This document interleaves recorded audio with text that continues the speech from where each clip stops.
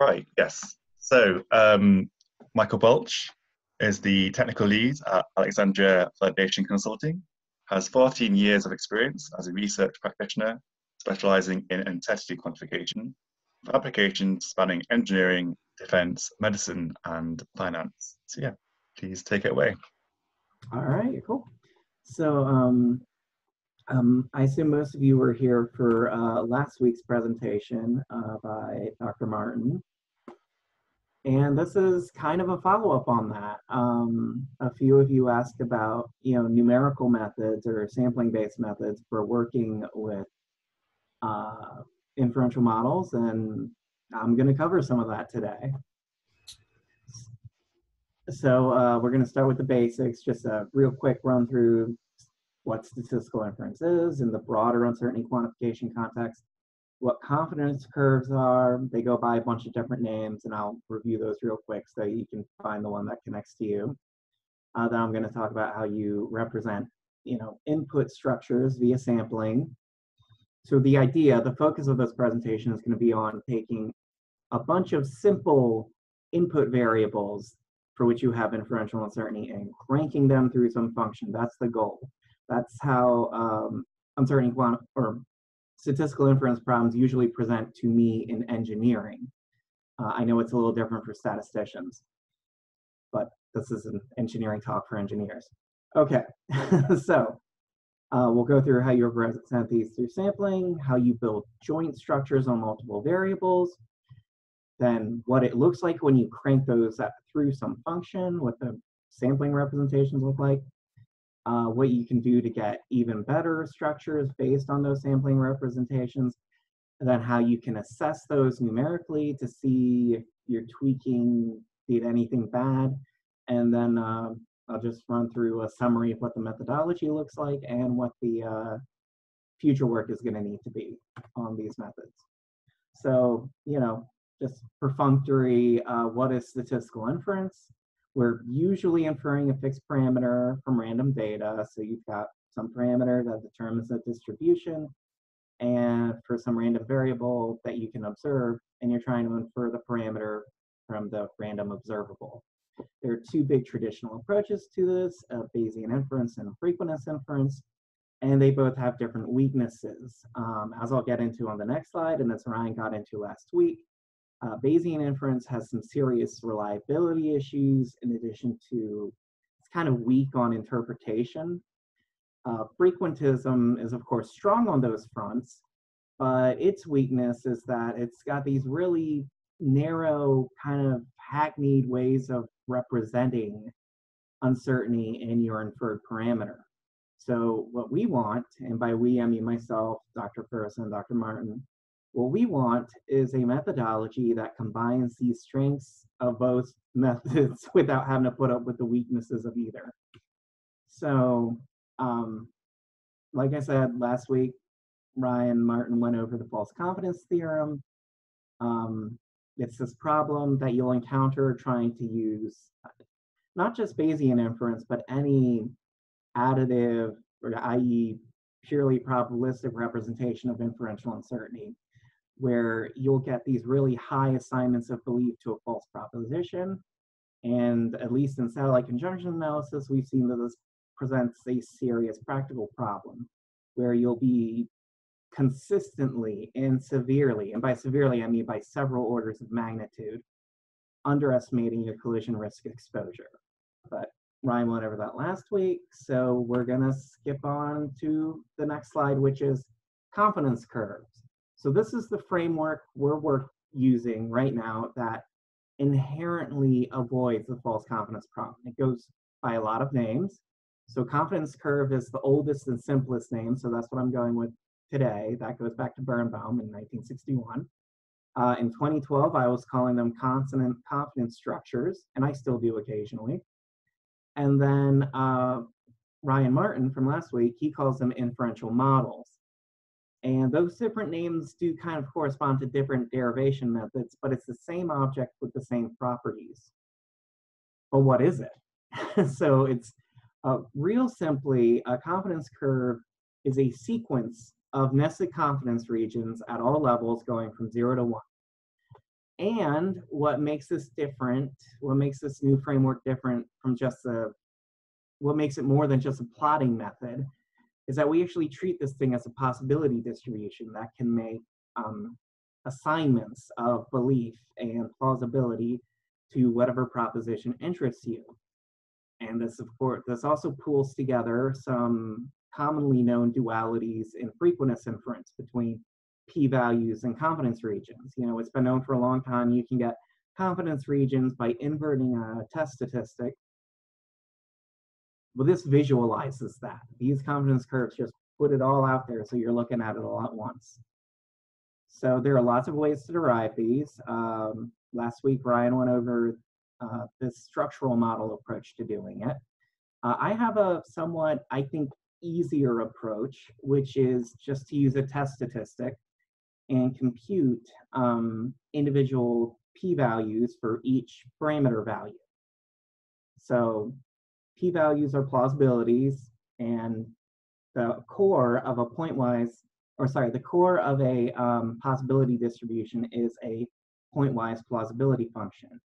And you get that by via this little equation at the bottom, um, where you're just saying what is the prob for any one parameter value, what is the probability of getting a less, you know, favorable result than the one you actually obtained? And I, I tend to prefer likelihood or likelihood adjacent test statistics. So yeah, here's a quick illustration of uh, how belief and plausibility values are calculated from a possibility distribution. And uh, also, you know, how any alpha slice you can draw off of this is going to be a whatever percentage confidence interval. Um, I have this these illustrations in any presentation or paper I write. So there they are. Refer back to it later if you like. We're going to move on because I got 37 slides to go, or 32 at this point. All right, so what are the properties of confidence curve? Well, the belief assignments are reliable. If you start from that test statistic formulation, you're going to get reliable assignments of belief. Moreover, the Martin-Liu uh, validity criterion, which applies to all sets everywhere, can be simplified to one um, condition that you need to check, which is for every individual, you know, parameter value, if you sample the data, assuming that's the true parameter value, the plausibility at that parameter value should have a right of uniform distribution. And we're going to be using that uh, criterion to check validity of our structures later on in the presentation. So there's some other goals when building these structures too, though. This, you know, there's a lot of play in this theory. You know, there's not yet one normative structure for any one problem of a statistical inference. Although one day I hope we will have uh, a normative structure. But for now, you're we're kind of going by the seat of our pants. Um, so here are some other goals we, we like to aim for. Uh, likelihood conformity is one that I like, which basically means where your likelihood, your raw likelihood function goes up, your plausibility should also go up, and where it goes down, plausibility should also go down. Or at least they shouldn't contradict each other. And that generally gives you a preference for two-sided structures. And if you want to read more about that, go check out my uh, recent paper on binomial inference. You also want efficient belief plausibility assignments, um, or another way of saying that is you want the tightest structure you can get while still satisfying everything else. And I'm not going to get into this in this presentation, but you also want sensible belief and plausibility assignments. And what I mean by that is even once you've enforced reliability, you can still get some weird one-off belief assignments that are obviously wrong.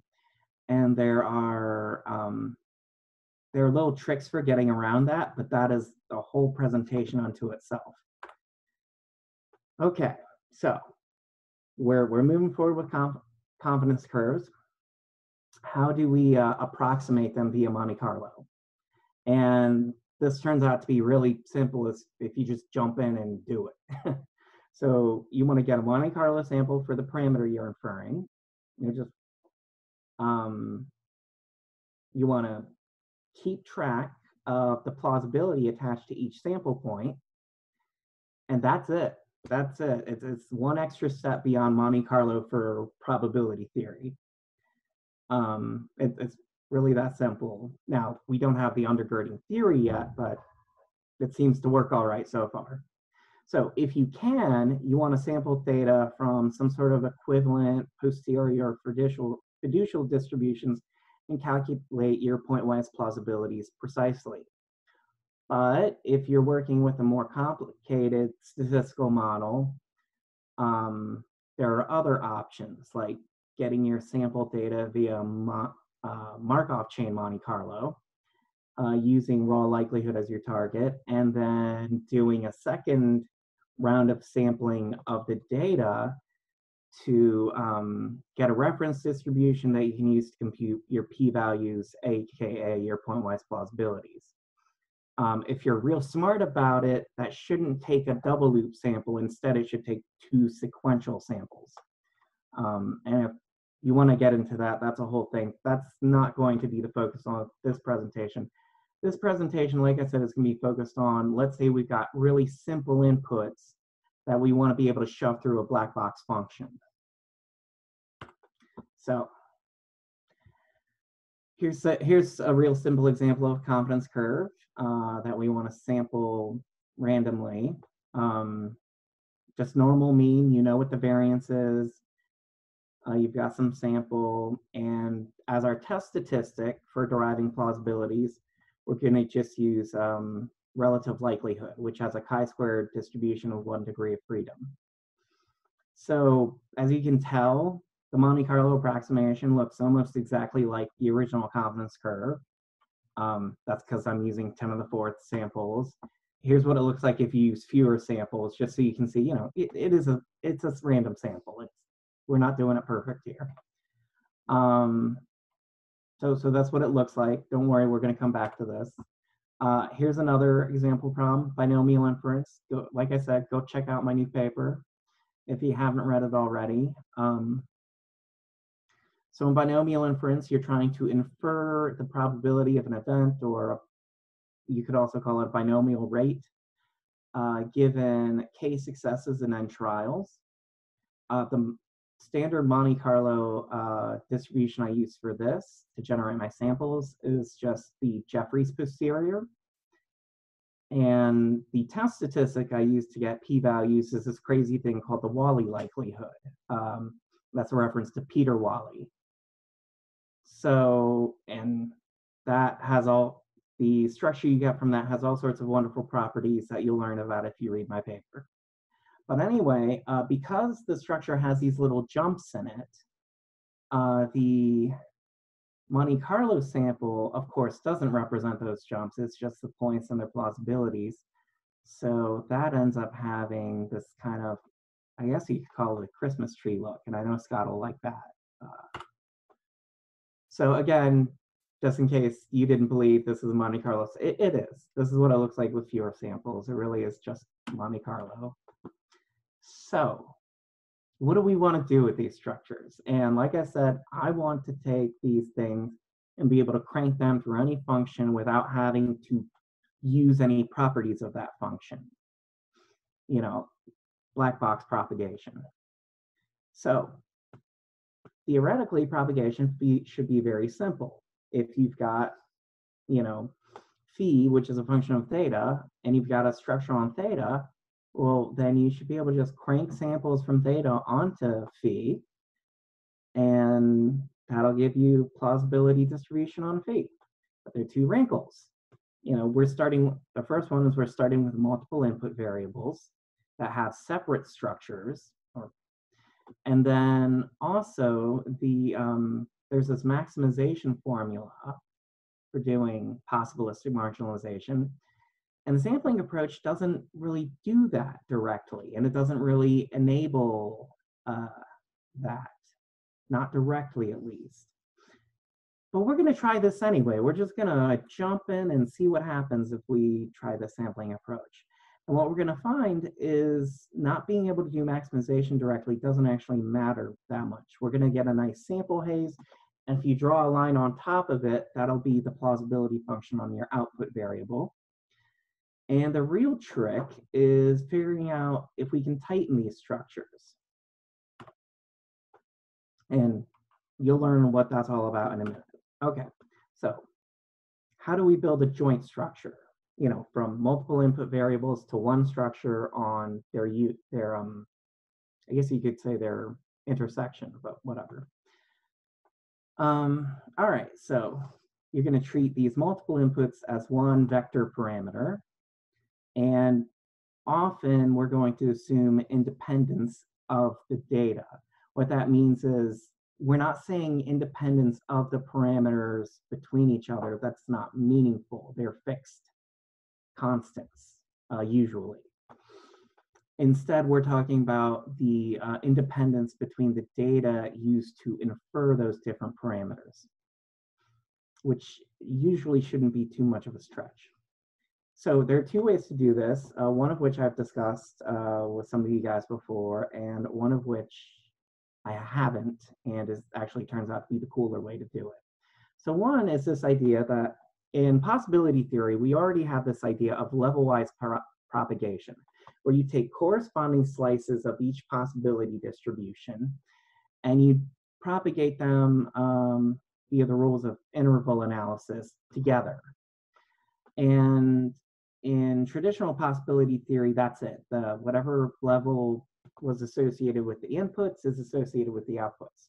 But if you want this to be conservative for a um, statistical inference problem, you actually need to adjust the uh, plausibilities on your output, at least to get the joint structure. So that requires this little correction here. Now, the problem with that is that uh, interval propagation kind of sucks. And it sucks because it's got this um, curse of dimensionality, this really aggressive curse of dimensionality. Uh, and when you go through the literature on that, it's mostly because of sampling at the corners. So I had a cute idea at some point over the last few months, which is, well, what if we cut the corners? What if we build the joint structure in a different way that doesn't have those corners? And it turns out there's already something in the literature that does that, and it's called Fisher's rule of combination. Now, R.A. Fisher originally came up with this for composite hypothesis testing. And at a certain level of abstraction, when we're trying to build these joint structures, that's actually what we're doing. We're, we're building a composite hypothesis test, but don't get too wrapped up in that. Just know that we've got this nifty little formula involving chi-squared distributions that, assuming independence holds, you can apply to get a joint structure. And here's, if you look at plausibility contours from the two different structures, you know, in some idealized case, this is roughly what they look like. The thick lines where we've cut the corner, that's what you get from Fisher combination. The thin little squares, that's what you get from um, you know, level-wise propagation. That's the joint structure you're dealing with. And like I said, uh, as dimensionality grows, these corners become absolute murder to sample. So generally, I'm going to prefer the circles, the uh, the Fisher combination. All right, so let's do an example. Let's do a real simple example. Say we've got normal inference uh, for two distributions. So we're interested in the difference between two means, okay? And we've drawn some data and here they are. Here's the, uh, here are the confidence curves we got for each mean. All right, so we, we sampled them. What happens when we crank those sample throughs? We get this, we get a sample haze. Okay, we, we drew the samples, we built the joint structure, we cranked them out onto mu2 minus mu1. We got the sample haze. And if you look at it, if you just look at the top line, that looks like a plausibility function, and it, and it is. So like I promised, it's not actually a big deal that we can't do any kind of optimization. Just draw the line that goes on top and continuity takes care of the rest. Uh, you may notice that the Fisher um, Fisher combination ended up giving us a slightly tighter structure than level-wise propagation. That will not always be the case, but it's often the case. Okay, so what's up with this haze? All right, so for each theta value, each mu1 minus mu2, there are an infinite number of mu2 minus mu1 that map to that one phi point. Okay, so you're not getting the top value. You're just getting for each phi. Instead, you're just getting some random possible value. Now, so any one any one point is unlikely to be the top point at the top of that curve, but it doesn't matter because enough of them get close. So you can still draw that top line and get your pointwise plausibility distribution, or rather an approximation to it. So, um, but the cool thing is, um, you don't even have to do that much. As if the proposition, i.e. the set you're interested in computing plausibility and belief for, as long as that's not too narrow, you could just use the raw sample points and apply the rules of possibility theory to them, and you'll get a good approximation of the belief and plausibility that should have been assigned to that set, even without worrying about the top line function, just using the raw sample plausibilities. Um, but if you are interested in the narrow proposition, which we will be la later, you do need that top line function. Like if you wanted the plausibility of an individual point, you need that top line function. So it depends what you're trying to do, whether or not you need it. But there are lots of algorithms for drawing, taking a haze of sample points and drawing a line on top of them, motivated by other applications. Okay, so here's what it looks like if we just look at the top line function. The solid line is what you got using Fisher's rule of combination, and the dashed line is what we got doing level-wise propagation with the um, correction for independence. And like I said, in this case, Fisher's rule is slightly more efficient, but it's no biggie. Now let's do another example. This is uh, the Fieller-Creasy prop, where you want to know the ratio between those two normal means. And this is notorious in the statistics community for giving weird results. I think Ryan went through this last week. I don't remember. This is what it looks like. This is what your sample haze for that problem looks like. And now, actually, this is one of those weird cases where a level-wise propagation actually gets you a more efficient uh, answer. But is this really the best we can do? Like just taking the sample haze and drawing a line on top of it? Is that the most efficient structure we can get? And the, the answer to that question is no. Um, emphatically no. For example, uh, these problems are simple enough that you could just use relative likelihood on your target variable, your output variable, directly. Use that as a test statistic and um, get this nice blue line, which is tighter than either structure. And here's what's even cooler is we can actually take our sampling-based approach and reproduce that exact solution uh, pretty easily. And the key is just reducing the degree of freedom. Meaning um, we have this chi-squared formula for uh, getting our plausibilities, and we originally started using treating this as though it had theta, whatever the dimensionality of theta was, in this case two, that many degrees of freedom. If you crank it down just to whatever your output variable is, in this case just one degree of freedom, you'll get that ideal solution to the problem. Now, what's the basis for that fix? Okay, what, what's the basis for, for being able to tighten these sample plausibilities? Well, in this case, we're dealing with normal mean inference. And both of our functions, even though one of them is nonlinear, they both represent linear constraints on theta. And if you got those two factors, you're actually always able to solve this via relative likelihood, and that relative likelihood will have, um, or rather, negative 2 log of that relative likelihood will have a chi-square distribution with dimensionality of the degrees of freedom. So this is a special case, but as we're going to see going through the presentation, it works pretty well as an approximation on other problems where these restrictions don't apply. So instead of doing all that work, figuring out well, what is my maximum value of likelihood for each you know value of the marginal variable, which you know is a pain in the neck. Instead of doing all that, we're just going to um, use the fact that on both in both the original parameter space and the output space, likelihood and plausibility have a one-to-one -one relationship. And that's going to um, allow us to just do this transform where, like I said, we're just tightening the structure by lowering the plausibilities by a degree of freedom. And how generalizable is that? That's going to be an open question, but more than you might think at first.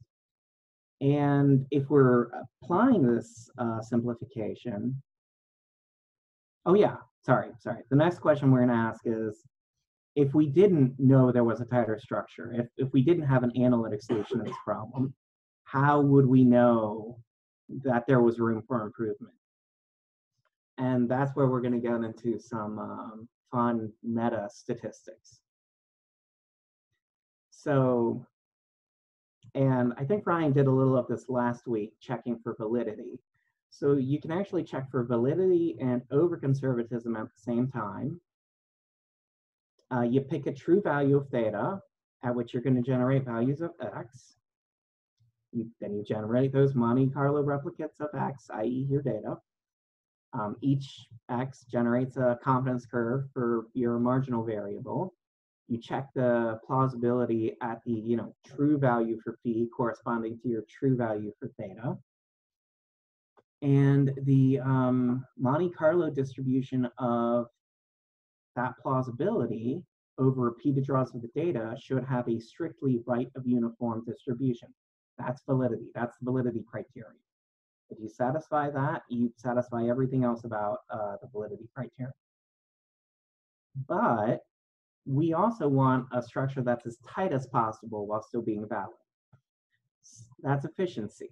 So one way to tell that you've got an inefficient structure is if you look at your plausibility distribution and all those values are way to the right of uniform. You know, there's like a big gap between them in the uniform distribution.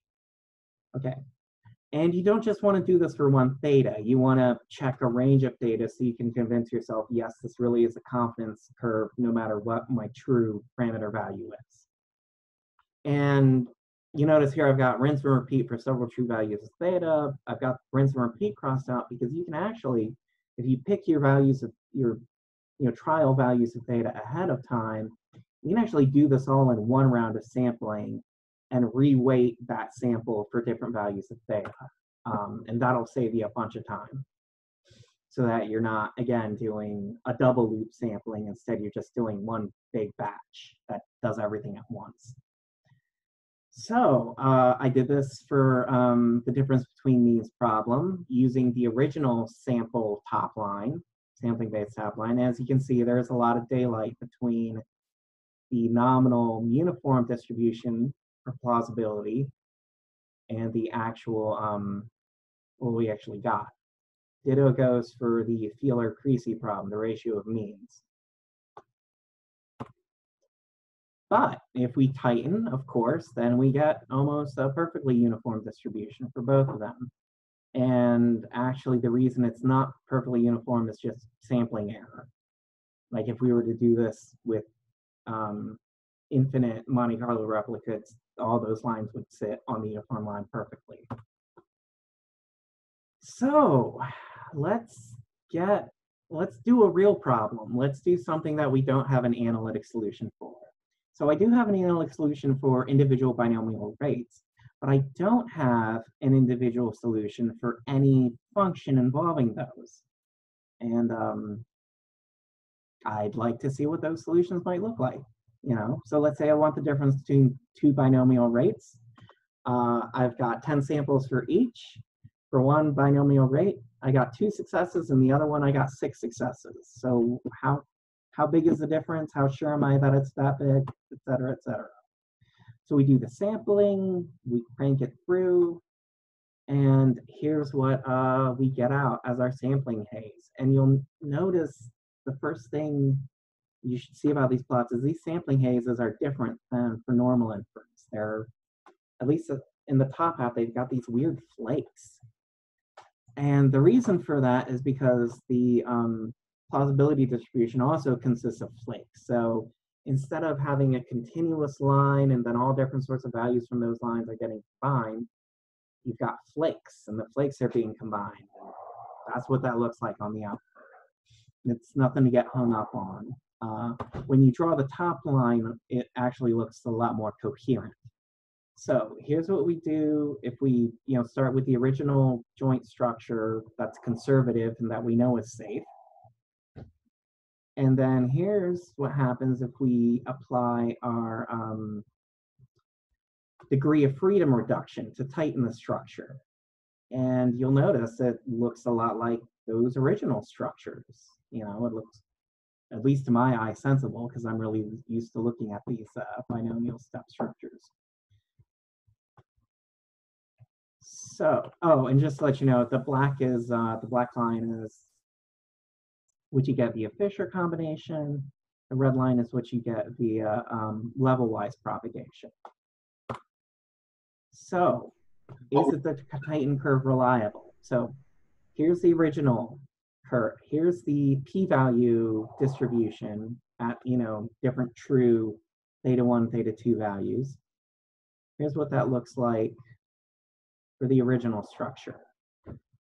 Here's what it looks like for the tightened structure. So you'll notice uh, for at least one of the theta 1, theta 2 variables, there's a little violation, a little bit. Um, but honestly, in practice, that kind of violation of validity, I wouldn't sweat it, personally.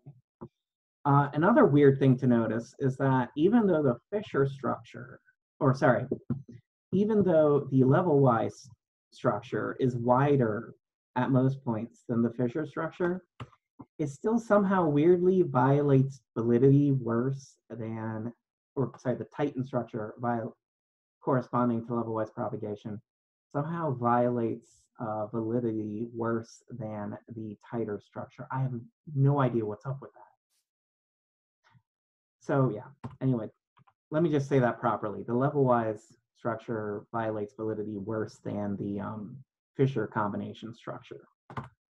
So that's um that's a difference between two binomial rates. That's a problem I was interested in many, many years ago. Scott can tell you about it. Um, but lately, I know uh, you guys out at Liverpool are interested in positive predictive value.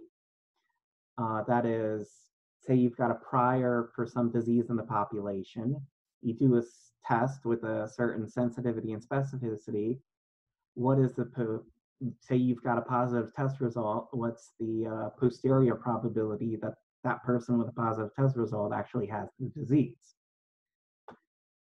And if you've ever dug into the data you know that sensitivity specificity and prevalence but especially sensitivity and specificity are never known exactly. Um, those two are definitely based off binomial trials usually. Um, of gold standard cases where you know whether or not the person has the disease and you administer them the test to see if they actually um how well the test works. So sensitivity is your probability of getting getting a positive result given that they have the test. Specificity is your probability of getting a negative result given that they don't have the disease. I am speaking all over the place.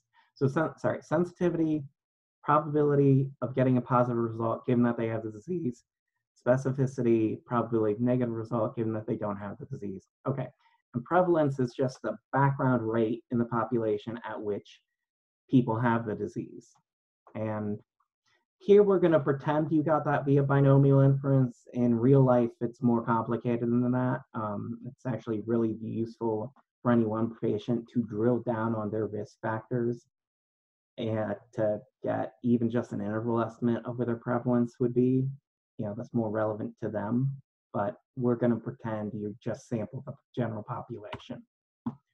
All right, so, so you started with these inputs um, as your experimentally obtained estimates of prevalence, sensitivity, specificity. Here are the structures you get for um, PPV. So the um, in black, we've got the Fisher estimates, uh, the Fisher-based sampling estimates, and in red, we've got level-wise propagation, which is again just a little bit wider. Uh, interval propagation for PPV calculation is actually really easy because all the output is in monotonic function of all the inputs.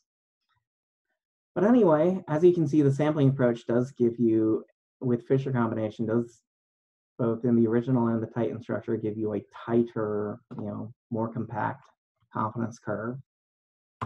Um, so that really is my preferred methodology, but is it reliable? And the answer is yes. Uh, I tried a bunch of different uh, theta combinations. So as you can see, yes, there was neat, there was room for improvement. And when you use that uh, you degree of freedom reduction, you do get a reliable uh, confidence curve. So if you're wondering how to get PPV estimates um, when your sensitivity and specificity are uncertain, this is a way you can do that. So that, that's going to be that's everything. That's uh, that's it's actually really simple. Uh, at least so far, it seems to be really simple how you work with these things. Um, how you can use Monte Carlo approximation to work with confidence curves. Step one, sample the inputs. Step two, you want to get plausibilities attached to each of those sample values.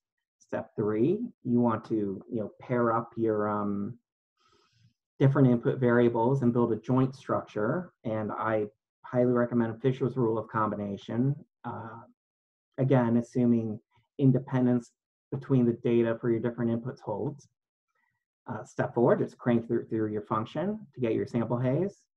Step five, get a top line function on top. So draw a line on top of that sample haze. That's your pointwise plausibility distribution. Step six, tighten the structure on the output if you want. Um, so again, chi-squared degree of freedom reduction really does seem to work pretty well. Um, and then step seven, you want to resample the data to check the validity of that tightened structure. But of course, if you step, if you skip step six, you don't have to do step seven. You know, if you just stick with a conservative structure on your joint input space, then that's already guaranteed to be safe on your output space. It'll just be wider than necessary. And that's going to get, that's worse with dimensionality, you know, as these problems have been pretty simple. So the reduction, uh, when you apply DOF tightening, um, that reduction hasn't been too pronounced, but if, as you increase your number of input variables, you're going to want to do something to tighten things. So future work, um, convergence properties. I, I, I literally have just been tooling around with this, being like, okay, I'm I'm going to use you know an equivalent posterior fiducial distribution to sample these variables. That seems to work. Um, but there's no theoretical underpinning yet. So what are the convergence properties of these, you know, plausibility and belief assignments, you know, as you increase sample size. What are the requirements on your sample generating function? Like I said, I've, I've been doing something that just makes sense to me, but obviously if your uh, sample generating function is much tighter than your possibility distribution, that's gonna be a problem. Uh, is there any kind of recursive dimensionality? Uh, we know that Monte Carlo sampling is free of the of dimensionality, when applied to random variables is the same true for uh, for confidence curves? Or is the same true for confidence curves built a certain way? Like i would definitely not expect level-wise propagation to ever be free of the curse of dimensionality. But like i said we're cutting those uh, corners with a fisher combination. So does that get us in a place where we'll be free of the curse of dimensionality? What are the restrictions on DOF tightening? Because there definitely are problems for which this won't work.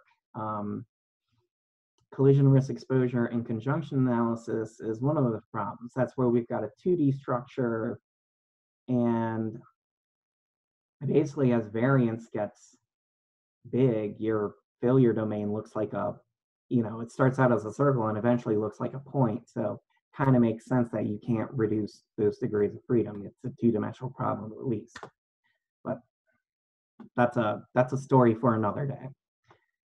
But yeah, how far can we get just tinkering around with DOF tightening and what are some numerical alternatives uh, to that when it doesn't work? Anyway, so yeah, for you theory heads and statisticians out there, there's lots and lots of low hanging fruit on this methodology. Like just lots and lots of simple questions to be answered uh, as far as what is the performance of the sampling technique? How applicable is it? And that is the end of the presentation. And I am ready for questions because I knew I, you know, it feels like I kind of blew through this. Um, thank you, Michael. Um, if you have any questions, uh, you should be able to raise your hand um, in the chat in the participants area. Um, go ahead.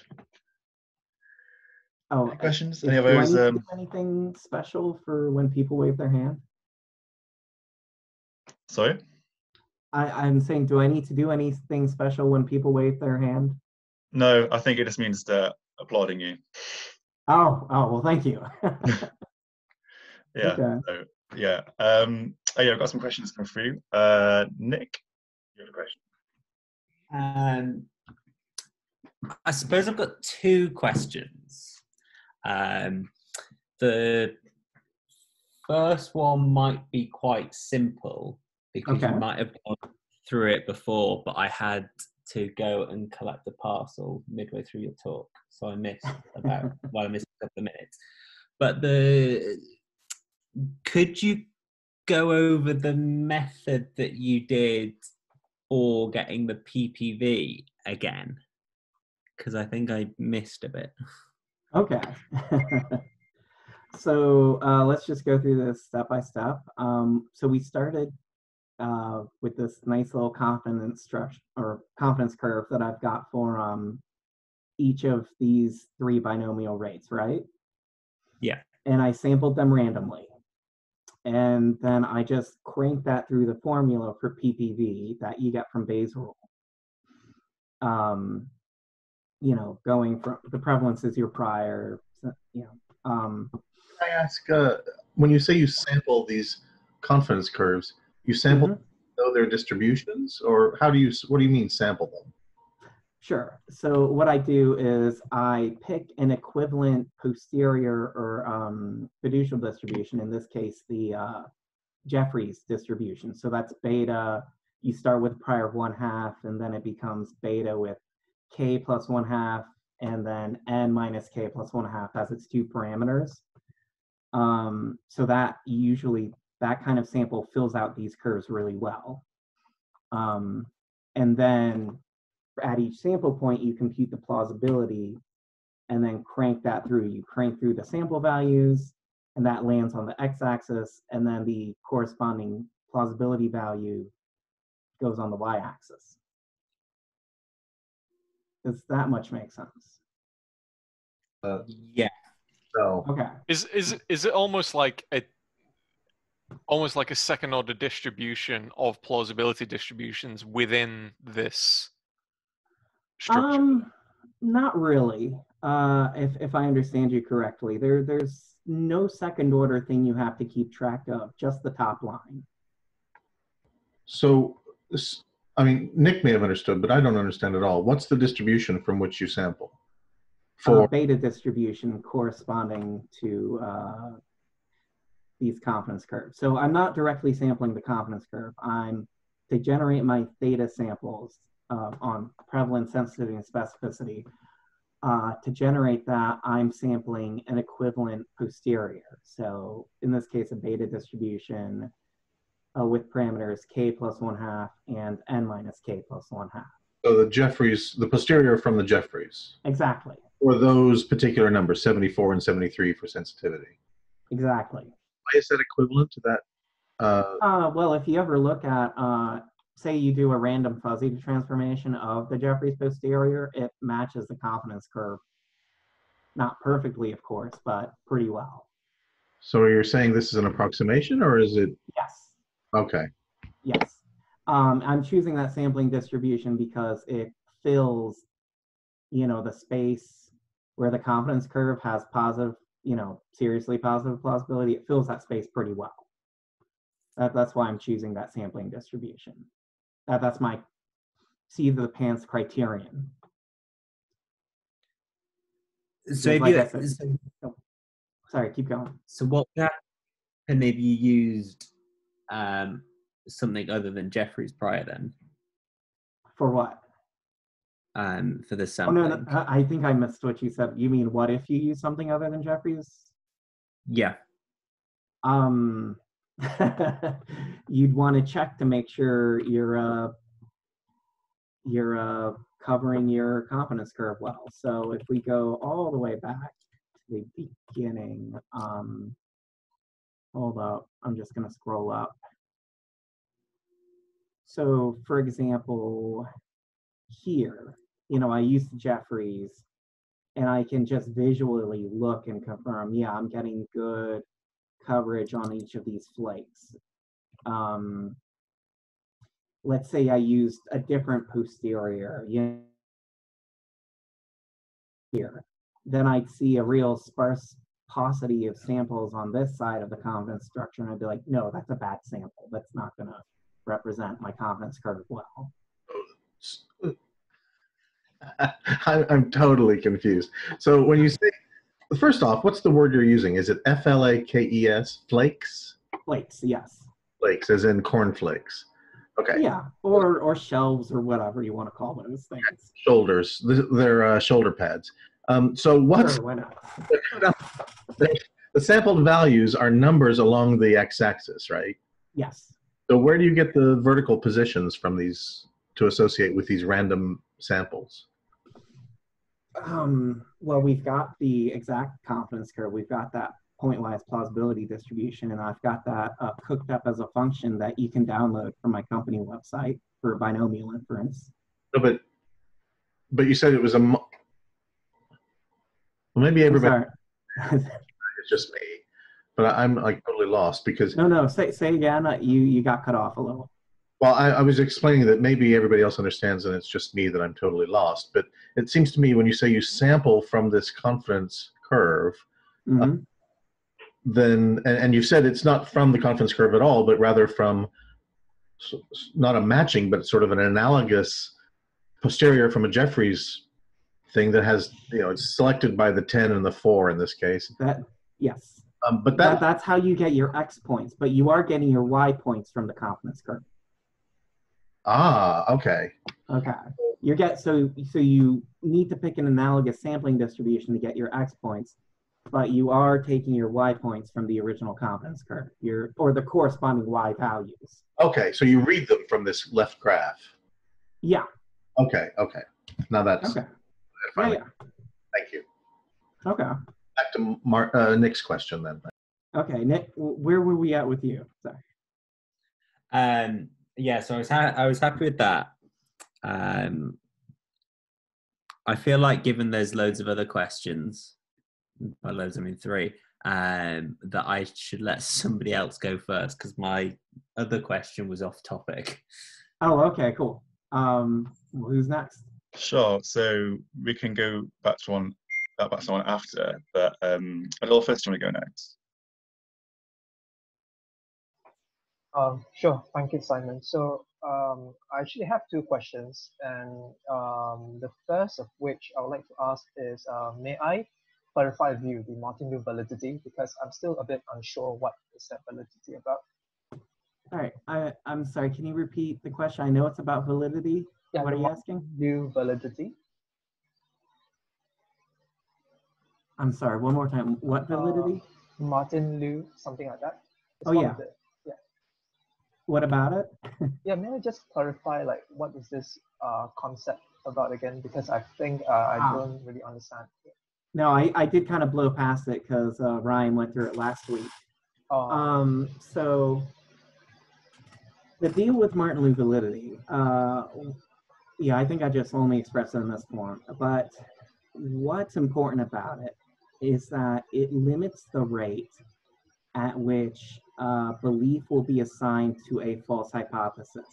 And by limits the rate, I mean over repeated draws of the data. Um, so in contrast, the problem I encountered in uh, satellite conjunction analysis is that um, these satellite navigators were going ending up having a really high probability, you know, probability, let's say belief assignment, that their satellites were safe, even when they weren't. And that wasn't like a one-off thing because of the structure of the problem.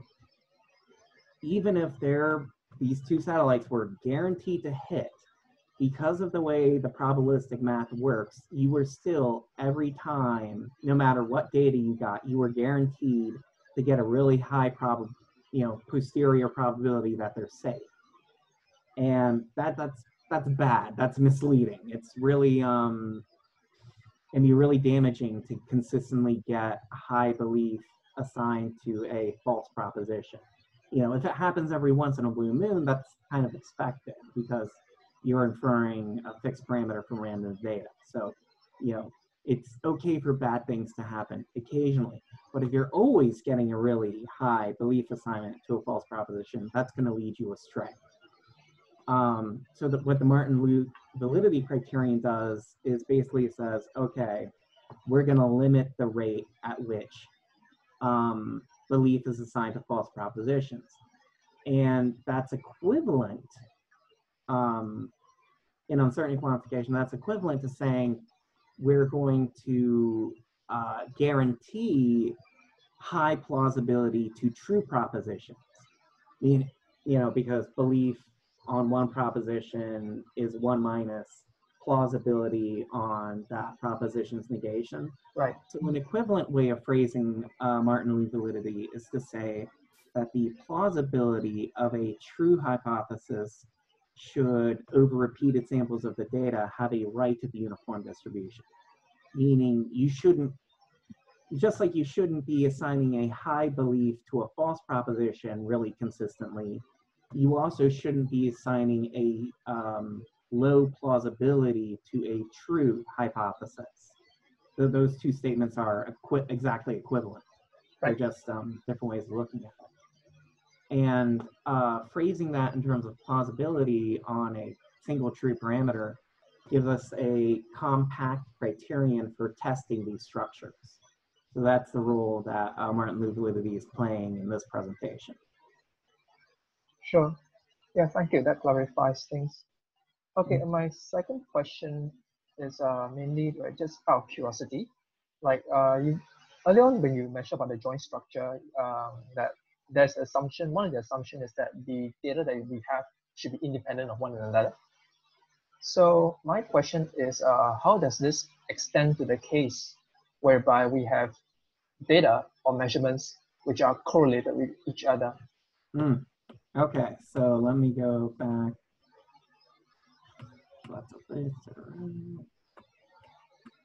Hold up, I gotta scroll around because I do have a backup method that I haven't uh, for that case. Um, hold up.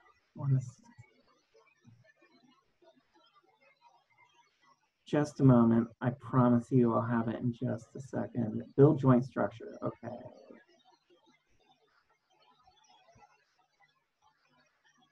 Let me just.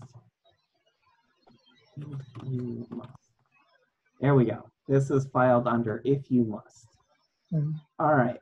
so let's say, um, you know, like as you correctly know, I've been assuming you've got these you know, multiple inputs and uh, you can treat them separately, which is another way of saying that their data are independent.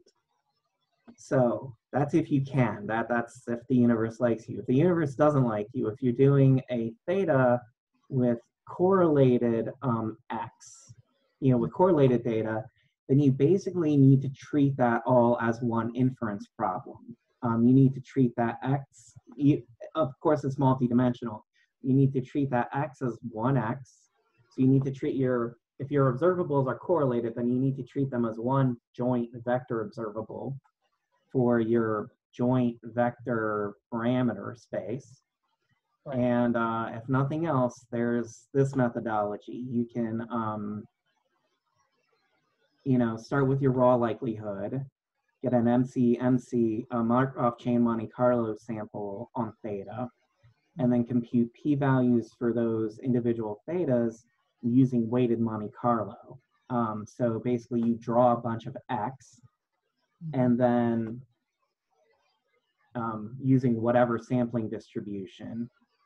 And then you uh, connect those for each X, you compute your test statistic, whatever it is, say relative likelihood.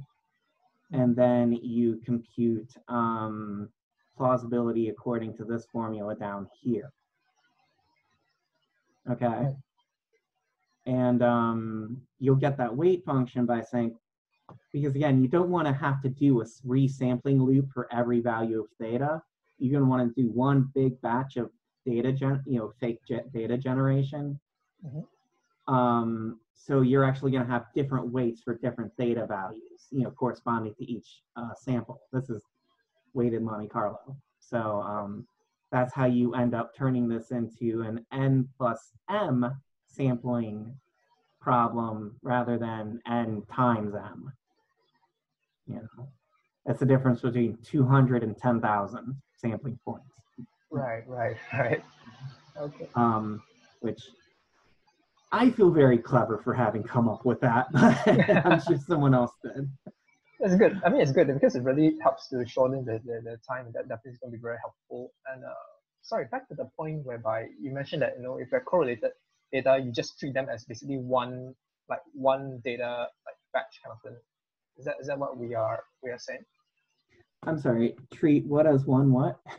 For correlated the correlated data set that we have, you said uh, something like you just treat them as one single data vector or something like that. Yes, yes. Okay. Right. So conceptually, you're treating it like that. Um, Mm, but yeah, uh, sure. Yeah. Yeah. Thank you so much. That, that that would be my advice. That's not to say there's not a better way. This is all you know, very early stage research. But um, oh, and let me caveat that with this statement: the MCMC with raw likelihood as target function. Mhm. Um, I think that'll work. I think that'll work. Do you think that uh, will- okay? There, there. Uh, if you want to check to make sure that is giving you good uh, coverage, and the way to do that is actually, you know, plot up your sample points along with the plausibilities. And if you get to the edge of your plausibil of your plausibility curve or the edge of your sample space, and you're still at like say 20% plausibility, you have not sampled the tails enough. You know. right. Um, so uh, that may, um, and there are other things you can do to try to work your way around that. Um, that that would be a presentation unto itself, though. Um, yeah. So so this this first line of sampling uh, according to raw likelihood as your target function, that's very provisional advice. I I do not guarantee that that'll work in a high dimensional space. Um, you're gonna wanna if you do, like, get back to me on it. Let me know how it works out. Mhm. Yeah. Yeah. Yeah, I already Um, foresee I already foresee dimensionality being a problem for that one as well. yeah. Um, so the fix for that, if you want to get real fancy, oh, um, well, no. Hmm. If you're able to calculate um, not just a raw likelihood, but a relative likelihood, Yeah. then you might want to sample according to an approximate um, an approximate plausibility. So you use the plausi- an approximation, a real rough approximation of the plausibility curve itself as your target distribution.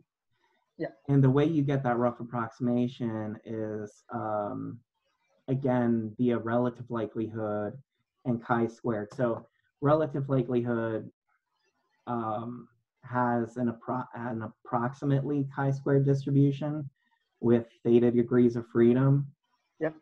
Um, so for two degrees of freedom, that matches likelihood. For one degree of freedom, it's actually tighter than likelihood. But above two degrees of freedom, it's wider than likelihood, which is why I agree it's possible this will be a problem in high, raw likelihood as your target function might be a problem in high dimensions. So yeah, you might just want to do that chi-squared fix. So you take, if you can find your maximum likelihood point or a good um, approximation of it, you know, just normalize your raw likelihoods by that to give you relative likelihood or something close to it. And then one minus, you know, the CDF for chi-square distribution with dimension theta degrees of freedom. Sure. And, uh, but again, check that, see if it works. I think that will work um, or should work and un unless you got a really, really weird problem. Um, and that actually just starts you out having a direct um, approximation to your confidence curve. But unless it is approximately normal, you would then want to do this next step of computing your p-values by, you know, generating faux samples of x. Right. Right. Okay. So good luck. And if you do that, let me know how it turns out. I hope, hopefully it turns out well. Yeah. Um, you know, just check everything. This is all experimental. We don't have any convergence theorems or anything telling us exactly what we should do yet. This is kind of using your knowledge of what your target function is, et cetera, and um, doing the best you can. So, yeah, thank you so much for the insightful discussion. Thank you. Yep. Thank you. That's a great question. Yeah, I think I'll move on to our next question. Um, Alex, uh, do you have one? Yeah. Um, I it's interesting the uh, the discussion with Adolphus there about this sampling method. Um, just I like I'm currently working uh, on a case where I've got a, a high dimensionality problem that I'm trying to generate confidence structures for, and it, it's at the moment like just a very basic one using p-values um, to go about it, and I'm generating that just by like sampling uniformly across the support Ah, of the problem. And uh, like I'm I'm on an and hour in now over like whether or not that will give because I, I can I can calculate the likelihood of the samples. But if you so, can um, I mean, should I jump in? yeah, yeah, feel free. Okay. Um, so that's a thing you can do if you have a finite support uh, for your, um, which you do in, say, binomial inference, but you don't in something like normal inference. Or or or if you can estimate a finite support that Yes. yeah, Yes. Um, if yes, that's true. Um, so sampling uniformly across finite support, the the only necessary problem with that I see is just if you're going to get enough detail on your confidence curve, and you can kind of look at it and decide for yourself if you like the amount of detail you're getting. yeah. And like the the curves you were showing later on, like it, are good for sort of just having a look at the nuts and bolts of how that structure is working. Yeah. Um, yeah. I mean, you literally just want to.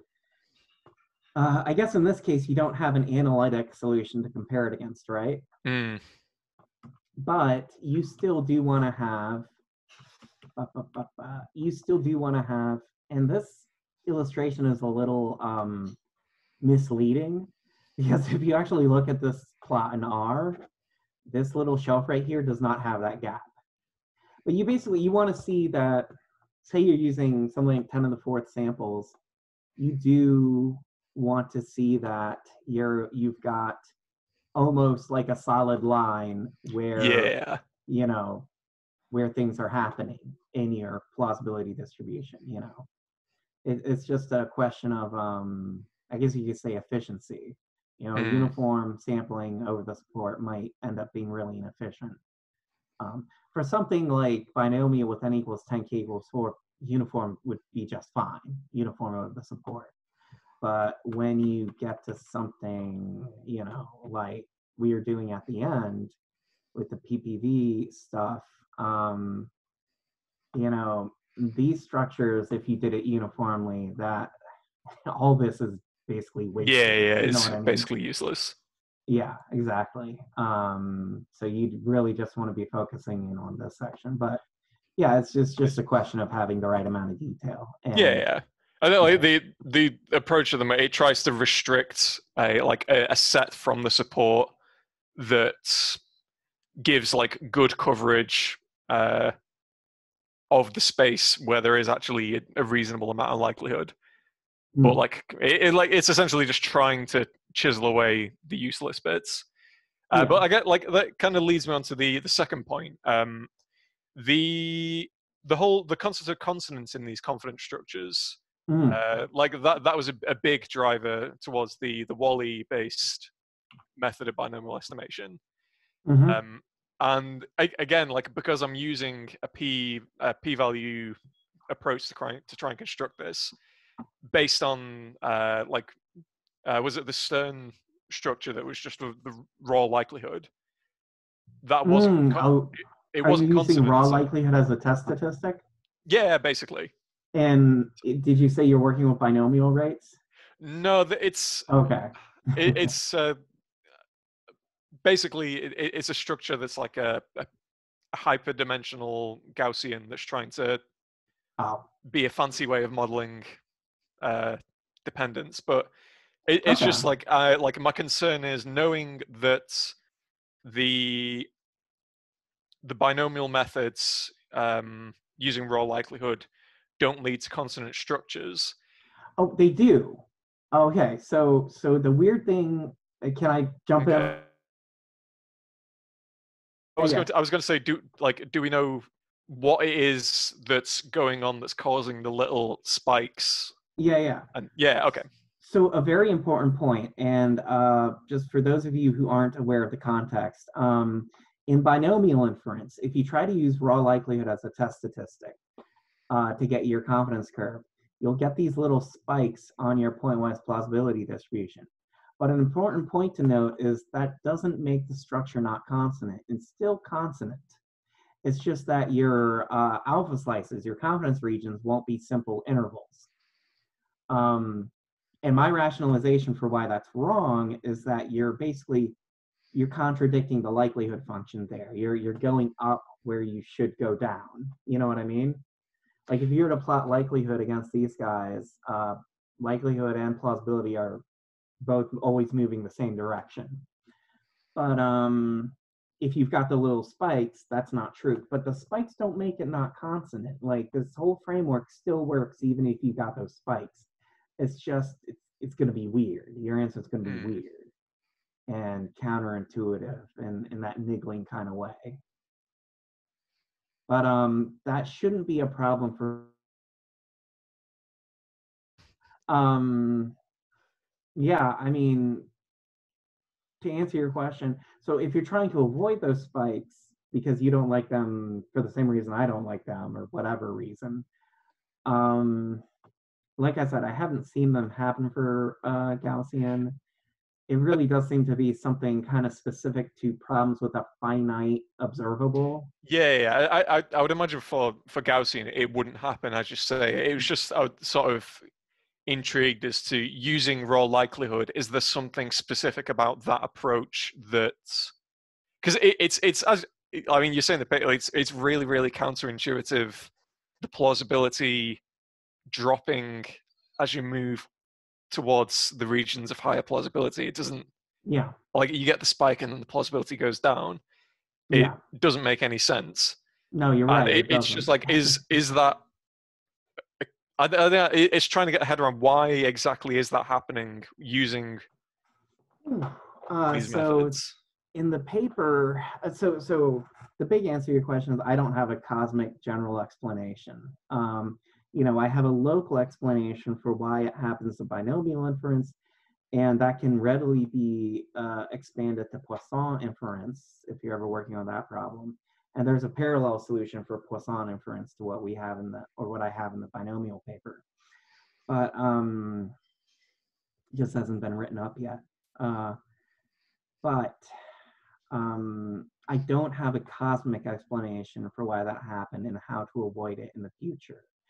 I think if we did, it would be a big step towards having one normative structure for every inference problem. You know what I mean? Mm. That's that's, that's part of this being a fundamentally unfinished theory.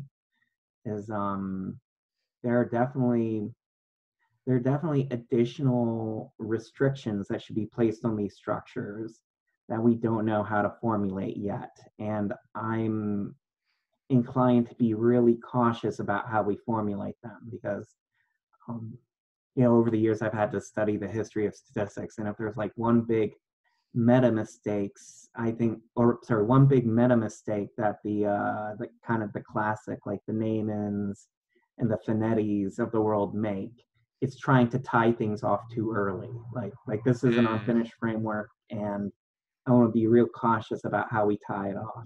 Um, so yeah, I, I I'm sorry that's not a very satisfying answer to your question. The the answer is I don't know how to avoid it in general. No, I mean Um, it's it's it's an interesting answer. Yeah. yeah, it, it means that there's something cool to try and like yeah. oh yeah. Well, and I thought about originally when the title of this po- uh, presentation was like consonant consonant confidence structures and some weird stuff. Uh, I was going to get into some of those issues, but I figured it would be better to start off with a presentation about like here are the numerics we're going to use to make this framework uh, operational. But um, there's there's so many weird things that can happen um, as you pursue this, um, and spikes aren't even the weirdest thing. Mm. um, now, don't get me wrong. None of that weird stuff is as bad as uh, this. Hold up. None of that weird stuff I'm talking about is as bad as this. I'll take spikes over false confidence any day Yeah. of the week. You know. um, and if anyone's watching this either now or after the fact online, you go learn about the false confidence theorem. It, it really, you know, it, there this new framework has weird ins and outs, but none of it holds a candle to what the traditional frameworks are getting wrong. And in fact, uh, some of the weird stuff that I want to talk about in the future, um, in a future presentation, if I can convince Scott to let me on again, uh, some of those weird issues have um, what's the word? Analogs. They have analogs in traditional frequentist inference. Like some of the issues i want to talk about even the spikes uh, in binomial inference um, those happen you know those spikes have been recognized for like 60 years you know just trying to make simple confidence regions for binomial inference um, people have known about those spikes um, Hmm. they just don't think about it it just they just don't think about it the same way. It, being able to look at the whole confidence curve all at once changes the way you look at things and allows you to prototype things faster. But um, yeah. Anyway, um, my point here is there's lots of weird stuff, but don't let that weird stuff dissuade you because the uh, traditional methods are worse. Yeah. They're just not recognized for being worse. Yeah. Anyway, um, next, uh, did you have thank- any follow? Uh, no, no, no. Like I'm, I'm good. Thanks very much for the uh, for the answers. Sure. All right. Yep. So moving on to the next question. We have one by uh, RG Marty three. Oh, that's Ryan. Oh hi. Okay. Hey. Uh, yeah. Thanks, Michael. Yes. Uh, sorry, I, I know, it doesn't have my name. I don't know how to change that. But uh, anyways, so yeah. So it's uh, uh, it was a interesting uh, presentation. So I've uh, I guess in the past I've done this thing with um, uh, like the Monte Carlo sampling of the data uh, at different parameter Mm. values. You can even do these, I mean, uh, kind of things where you reweight the samples so you can kind of reuse the Monte Carlo samples for different parameter values. Uh. One thing that I guess I've not done before um, is this. You've already talked about this a, a, a bit in the in the questions. Is like the sampling of the thetas. Uh, So I, I don't know. I, I guess to, to me, it's. I mean, I, I- can see there's some advantage to this because you kind of don't really need to know where to look. You just kind of let the sampling procedure point you in the right direction. So you generate from this posterior distribution, and that sort of sends you off to the relevant spots in the parameter space. Hmm. But it, I guess, it seems that there's, uh, you know, so you, you got this picture of the haze, you know, so it ends up this this kind of haze is in a- in a way is kind of. Uh, um, uh, I mean, in, in a sense, there's some waste here because like there's Hmm. all lots. I mean, all those points represent places where you've sampled, and what you really only care about is the edge. Yeah. So like the, the advantage to this is that you didn't have to really know how to find the edge. You just let the sampling kind of do it for you, and then you can ultimately trace out the edge. Uh, but there's Yeah. a lot of wasted uh, efforts to get all these points that are kind of in the middle that aren't important. Um, Yes. so, and, and I guess on the flip side is that, you know, if, if you wanted to do something like, say, to find like the plausibility interval, say, for some function of the, the, the full parameter, you don't really want like that middle part of the distribution for that. It's like you kind of only want something kind of out in tails because Mm. those are like the, you know, like, you know, in some sense, what you want is like the, you know, like the, um, you know, fifth and 95th percentiles of the posterior distribution. So these are somehow out in the tails and not really in the middle. And so out into the tails, it's harder to actually to reach this um, with the, the, the sampling procedure. So Yeah. in some sense, you can you get a lot of samples in the middle, not very many in the tails, and the ones in the middle aren't really all that helpful for uh, you know, kinds of things that you might want to do, like the, the, the plausibility regions, because it's the tails that, that matter for that. So Well, I- and you can the- compensate for some of that. is the, like the, the dimensionality thing is that you know if, if if you're doing it in two dimensions you can get pretty much over the entire space and then Mhm. your uh, your your your haze if you trace this out is going to actually capture the whole um, the whole range and you're going to get towards that uh, sort of the maximum that you're trying to um, to approximate i just i worry about getting into 10 dimensions marginal marginalizing down to one whether you Yeah. can really a good job of approximating that maximum, the supremum that you're trying to to, to get. I don't. So I don't know. I, I guess I'm wondering if you've if you had any experience with this, like in say ten dimensions. Um, how So the answer is no, I haven't had experience in 10 dimensions. Um, but I, I would like to uh, address a couple points, which is um, you can address some of this, at least in low dimensional, by changing your sampling function, meaning you don't, I'm picking, you know, an analog, uh, fiducial or posterior analog to the confidence curve, but you can of course choose to sample something wider than that. Sure. And if you have a particular value that, for whatever reason, you're interested in, say because it represents the boundary of your failure domain in an engineering problem or something, you can just sample that. Nothing's stopping you from like including that in your samples. And um, so if there's like some boundary you're particularly interested in, um, you can make sure that's included in your sample. But of course, you also want to make sure you're not just getting like some line of interest. You want to get stuff around it so that you do, you know, recreate this haze effect to get that top line. Um, I mean, uh, yeah, this may not be the best thing in every problem, but I'm not so like so I'm not saying it won't take some work to figure out how to do this in higher dimensions, but I I really think it's going to be doable. We just need to make sure we're aiming at the right target function. Uh, like I was talking about with, I think it was Adolphus. Um, you just need to make sure you're like likelihood might say you're in a high dimensional space and you're uh, getting your samples via Markov chain Monte Carlo. Um, it may be some work to figure out what sampling function you should use, or sorry, what target function you should be aiming at with your uh, Markov chain.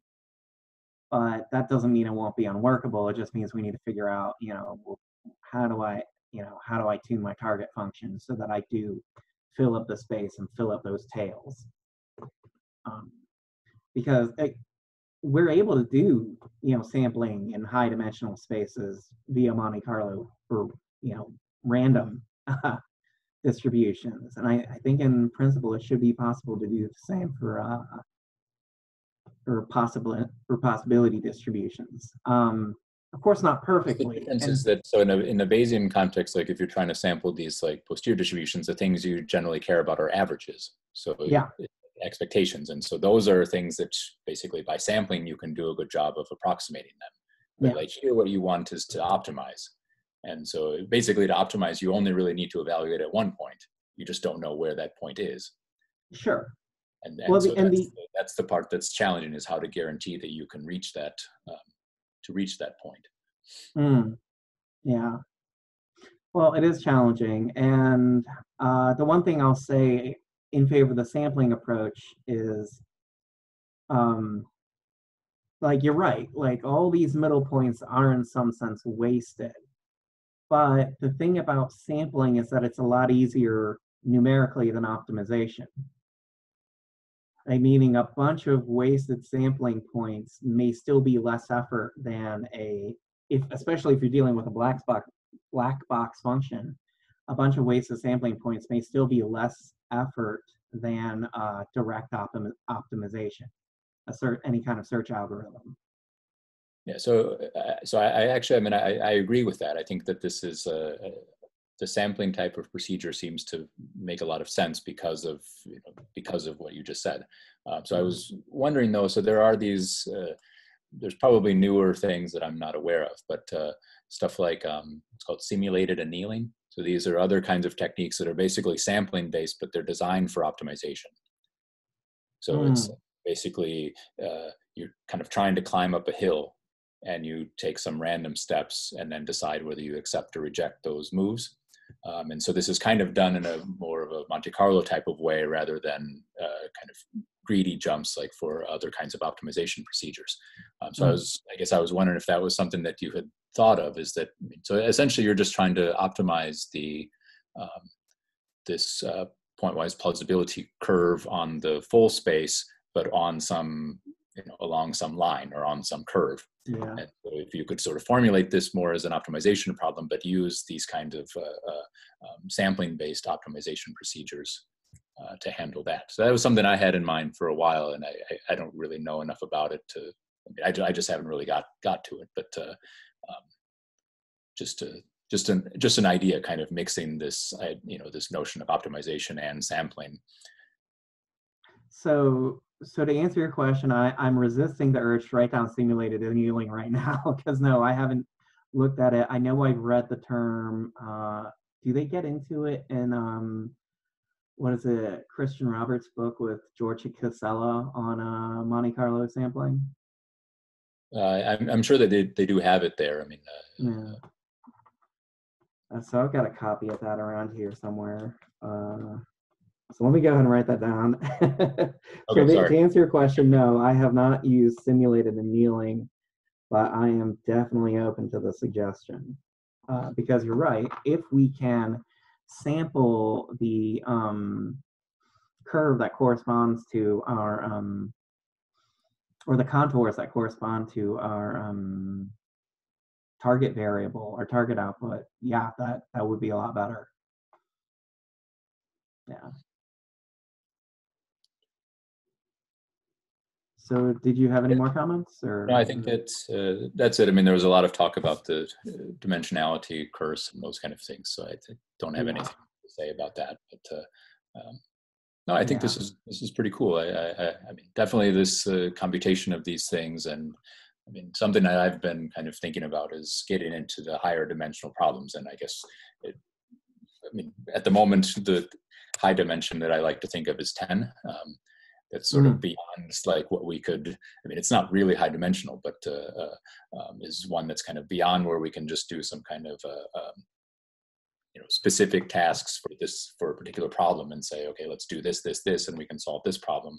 But kind of thinking like more broadly is if you get to 10 dimensions you kind of need something uh, systematic that can um, kind of work more generally. So um, we, we so do I, the same I like the sampling based ideas. I think this is uh, this is definitely is promising Yeah, I was going to say we do the same thing in uh, aerodynamics with hypersonics. Uh, you know, Mach 6 isn't really what we think of when we think hypersonic. When we think hypersonic, we're thinking like Mach 15, Mach 20, you know, reentry or takeoff flows. But um, we do Mach 6 because it's like, it's within, it's easier to experiment with and it has all the characteristics we're looking for. It, that's why I'm thinking with n equals 10, same deal. like it's like it's um it's that new it's the kind of bottom of that regime we're trying to hit. But um anyway no um very nice. yeah. Yeah um i i was going to say about this chart um so you know with Fieller-Creasy uh these curves go out to infinity. They never they never come back down. And that's actually a low dimensional example of kind of what you're talking about because of course there's no way to sample infinity well. Um so i would take that as kind of you know even the perfect curve never you know comes back down. This asymptotically approaches whatever value and this uh, asymptotically approaches the same value from above. And um so any kind of convergence theorem for uh, this approach would, I think, have to be provisional on, you know, the set that interests you and how well you're sampling it. You know what I mean? Uh, there, there's well- provisionality to this. um, No, I mean, I mean, I guess certainly if you were trying to find like a plausibility interval, you'd be it's an attempt to solve an equation that doesn't have a solution, and so then you you there's definitely would be some kind of limitations to this. I mean, you know, uh, you know, in in terms of, I mean, I think what would happen is that if you were you know doing these things like with posterior samples, of course, you can never reach like it's not going to go out to infinity, but there's going to be a huge variance in these samples, and so you'll you'll Yeah. end up stretching you know maybe minus 100 to 100 things like that. Yeah. So Well, with the ratio of means, I was actually really shocked at how far out the uh, min and max uh, sample points were on the ratio. Oh yeah, yeah, yeah. So I mean, Oh. it's like a, um, this is kind of like a you end up with something that's not unlike a Cauchy distribution. So the tails Yeah. are super, super heavy. Um, samples would be way way out there. Yeah. Yeah. Uh, quick note: uh, this mu two, this should be mu one divided by mu two. I that's a typo. My bad. Yeah, just for posterity. um, so, do we have more questions? Yes. Um, I think Alex, you've got another question, don't you? Uh, yeah, I mean, like, um, it's just a, a quick one. Um, uh, just in, in terms of sampling, again, there. Am I understanding it right? It's like the the Fisher combination is used to take like the plausibilities of each of the variables that you're propagating through the function, Mhm. and to determine a, a plausibility of whatever point is returned. Uh, yes, or Yeah. more primitively, it's used to get the plausibility, a joint plausibility for that as, like, say you start with two variables and you've got a sample for each. You're combining their plausibilities to, you know, give a plausibility for that space for that point in two space. Yeah. You know what I mean? So if if you had a monotonic function that, or like, I suppose yeah, it wouldn't work for black point. But if you knew your function was monotonic, could you not, um, and you wanted like a ninety-five percent confidence interval for your output uh, function? Yeah. Could you determine the the plausibility intervals that would correspond to that from each of the input variables and propagate those two intervals through, just sampling directly from the confidence structures. And then that would give you an output, a complete output interval that would be at the appropriate confidence level. Sure, that that's basically the theoretical idea underpin, underpinning level-wise propagation, isn't it? I, I, I'm I'm not sure. That, like, it's I don't know. It seems like a cool. Yeah, yeah. And so so so the answer to your question is yes, yes. Like like whatever, however, however I interpret that question, the answer is yes. Um, you can do that. Um, and it does require knowledge of the function. And if you're saying, say, I want a 95% on my output, it's a monotonic function. So I'm going to do, I think it's like 98% on the inputs. That's just Hmm. level-wise propagation. That's going to correspond to these squares. And I would, you know, caution you, as we see in mu2 uh, minus mu1, you know, this dashed line, that outer line, that is what you get doing level-wise propagation. So you're gonna get something that's wider. Typically, you'll get something that's wider than necessary. Uh, here's the same deal for uh, PPV. Is this red line is what you would get via level-wise propagation. And for this plot, I did exactly what you're talking about. I I said, okay, I want 95% um, on you know my PPV. So, and for the Titan structure, I just said 95% on PPV will correspond to 95% on my inputs, even though that's not necessarily safe. Even if you do that, Okay. you still get something wider than the sampling-based structure. Okay. Yeah. So so there's some loss of efficiency there, but it's you know it's a thing you can do. Yeah. It'd be, it'd be a conservative way of doing it. Yeah. Yeah. Um, well, strictly speaking, this would be the conservative way over here of where you're uh, adjusting your, um, you know, one alpha prime, your adjusted confidence on the output is equal to one minus parentheses, one minus alpha, you know, to the whatever dimensionality of theta power. Mm. Um, I've got that function somewhere around here in the, these slides. I'll uh, I'll send these slides along via email later on, so y'all can Yeah. have them. Uh, but uh, yeah, you can do that. It just it's gonna be wider than necessary bounds. Okay. Cool. Uh, thank you. Yep. Um, that might be it for questions. Uh, Nick, you had another question. Is there still there? Um, I might just ask it by an email. Okay. That's- Is it complicated? Um, I might. Oh wait, you, you muted. S- say again. I didn't catch that. Um, I said I'll, I'll send it by email. Oh, okay, cool. Uh, I'll look forward to it then. Okay. All right. Okay, so if there's no more questions, um, I'll end recording and that ends the uh, final, um, formal talk. So yeah, thank you, Michael, for giving an interesting talk. Okay, cool. Thanks. Uh, thanks for having me. Yeah.